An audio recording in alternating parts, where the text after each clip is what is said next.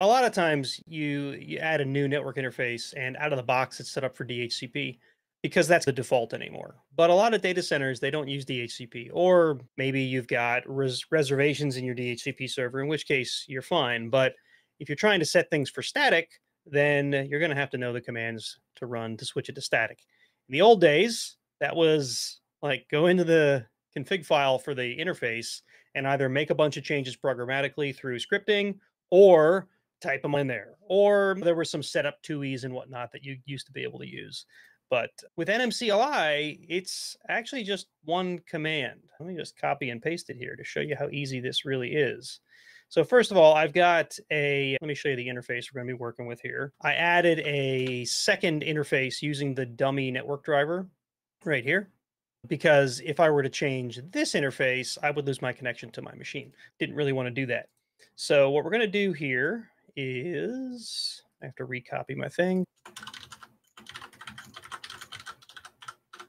If we show dummy zero, I don't know, I guess this isn't as helpful as I was hoping for, but in here you'll see the IPv4 configuration is set to auto.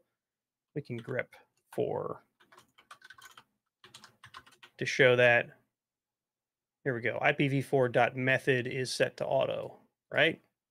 So we're going to do is we're going to switch it to manual and we're going to give it an IP address and we're going to give it a gateway and a net mask and everything all in one command, which I think is actually pretty sweet. So you can see here we got NMCLI connection modify and then the name of the name of the interface. Then we've got IPv4 method manual that tells it to switch it to manual mode instead of uh, DHCP. IPv4 address is, of course, I just made up a non-routable 10 dot what 10 dot whatever address. The slash 24 defines, of course, the prefix, which will tell it what its net mask is going to be. IPv4 gateway that tells it how to route its traffic, right? So if you were setting up the primary interface on this machine, you'd have to give it a gateway. Otherwise, your machine wouldn't be able to reach anything else. So we're going to hit enter and you can see it doesn't really tell us much. But now if we look at NMCLI con show dummy zero. Let's actually no, let's just do a con show.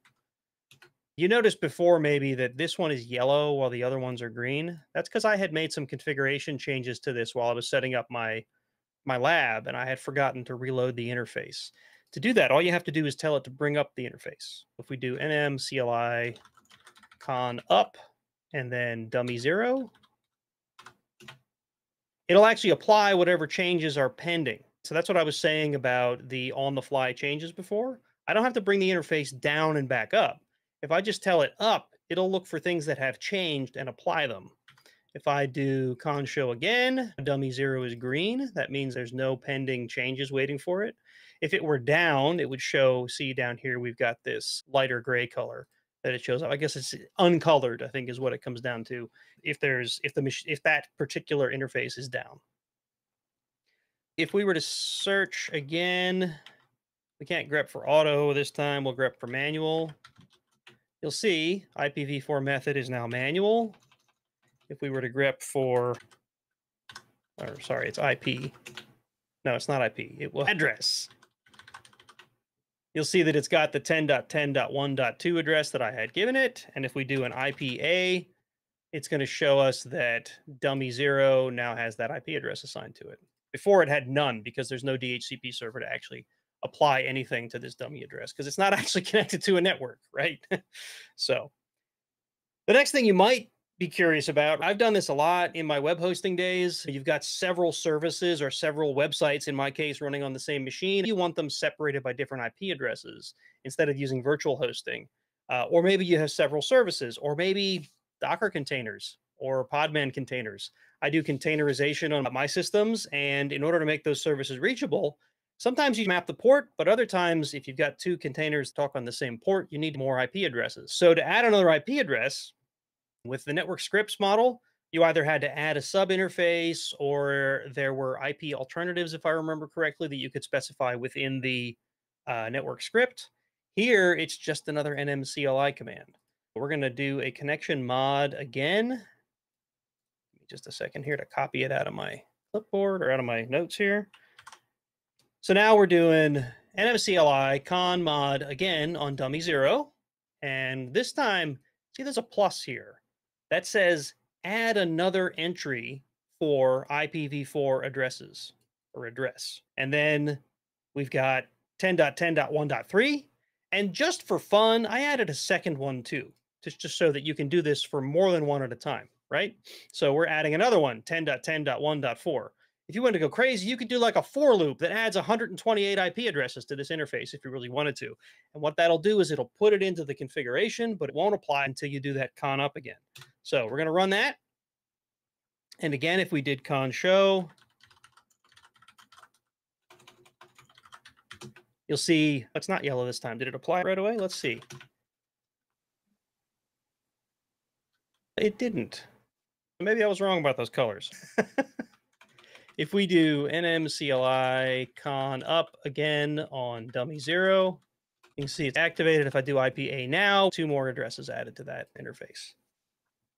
And so, Nate, another great practical why one would do this you know, over the last few weeks, we've talked about things like services and binding mm-hmm. services to specific ports or containers being bound to a specific port. Well, if you only have one IP, then you have one port 80. If you have three IPs, all of a sudden you now have three port 80s, which means you could bind different containers to listen on the different IP addresses. And you can customize what traffic goes to which of these bound services based off its IP address. That's exactly it. In in my case, game servers are a perfect example, right? Again, I'm using the home lab as my example here. In your home lab, maybe you've got three of your favorite game server running for different uses, different groups of friends or whatever. Game servers generally run on whatever port they're told to run on. They're not always as configurable as some services are. So you're going to have to open up more ports and you can map different ones in, but then it's harder to find. It's harder to tell your friends how to connect. But if you have separate IP addresses, then you can map those in through your firewall or whatever it is that you have to do to specific IPs instead of having to remember what port is what. All right, let's see. I had one more thing I think I wanted to show a name resolution. That's another thing that's changed. It used to be you just edit etc resolve conf. Now, I think if you look at resolve conf here, let me clear the screen so you can see better. At the top of resolve conf, there's this warning that says that this is generated by network manager. If you change this, network manager is going to overwrite it next time it reloads, right? So you use it right directly in here. Now, not really recommended anymore. If you have automation that manages resolve conf or any other config file, you make changes directly to it. There's a good chance they're going to get overridden. The way to get around that is there's NMCLI commands that will let you set name servers. Let's go paste this in here. And these don't necessarily have to be per interface. I forget if you can do this without specifying an interface, but I don't want to go off script and see it explode. In this case, what I'm doing is I'm telling it that this connection needs these name servers applied to it. So there's a key called IPv4.DNS. You pass in a comma separated list of values and it'll set those name servers. Uh-oh.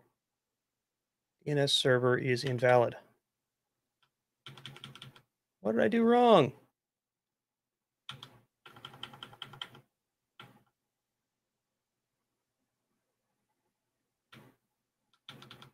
Do I need single quotes? I did test this before.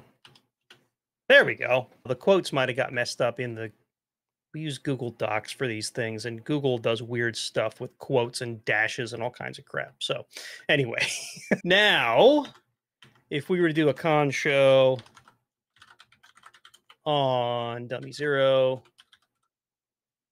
and we're going to grep for DNS. I have to put grep in there DNS is not grim, grep. it's a tough one. All right, so now you see IPv4 DNS is in there, and then I just blocked it with a clipboard. We want dummy zero. If we cat resolve conf, we have four added as name servers, right? So eh, NMCLI or network manager, I should say, added those in there. Now, the other thing that is usually important is the ability to add a DNS search domain, right? So if you're not familiar with DNS, if you're searching for a host name that's in your search domain, you don't have to type the whole search domain out, which is really handy for things that are local. You can just say SSH into server two instead of server two dot whatever dot. So how do you set the search domain? Well, guess what? You can also do that with NMCLI. We're gonna copy and paste, and then we've learned from our mistakes. We're gonna replace these quotes that have been messed up on me. So I'm telling it to add the domain somedomain.com to search domains on dummy zero. And then we have to do the con up again. And if we cat resolve conf, it should be added to search domains. Yep, there you go, somedomain.com. Don't go to somedomain.com. I have no idea what's on that domain. I'm sure someone's got it though. Oh, surely they do. Example.com great one to use for examples because it was put in the RFC as an exemplar and no one can get example.com. I'll use that from now on then.